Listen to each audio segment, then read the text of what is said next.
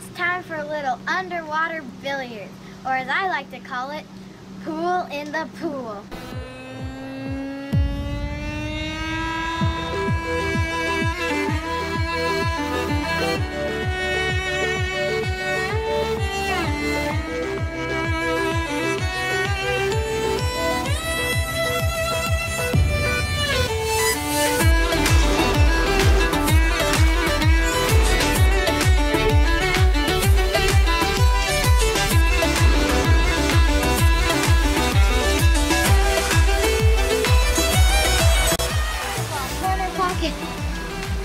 I feel like a pool shark.